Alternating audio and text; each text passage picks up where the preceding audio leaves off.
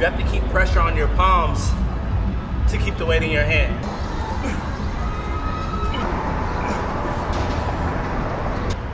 Yep.